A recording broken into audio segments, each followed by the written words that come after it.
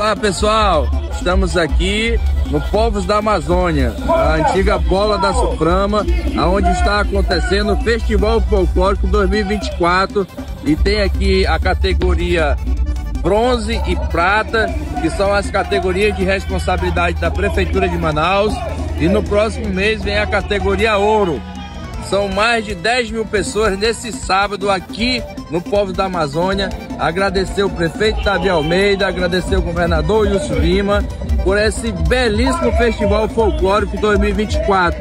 Nós, juntamente com a Ali com a João, estamos apoiando as quadrilhas de Manaus, apoiando a cultura de Manaus. Então, acompanha com a gente aí.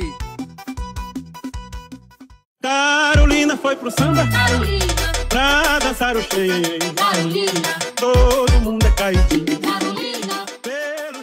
Cheiro. Esse festival para mim foi assim uma bênção na minha vida, pela dificuldade que eu estava enfrentando. É a primeira vez, uma experiência que eu espero que seja de muitos. É, aumenta um pouco a renda nessa temporada que literalmente ajuda muito para os próximos meses, né? Acho muito bonito, sabe? Que, que cultivem, que cuidem, que tenha uma data especial para isso.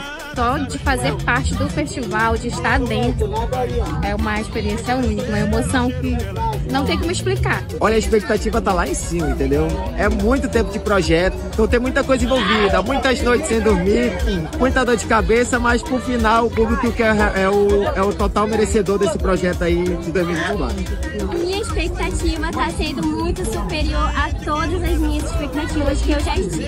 Tava esperando muito tempo para isso, né? E eu vou dar meu melhor para aqui. Olá, meu nome é Elson Rocha, presidente da Liga das Quadrilhas Juninas do Amazonas, de Coajuan.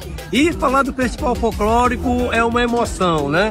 Porque nós, nós aqui nós temos um bom trabalho, um trabalho reconhecido, com apoio do vereador Elan e do deputado Abdala, tornou esse trabalho ainda maior, ainda mais gigante.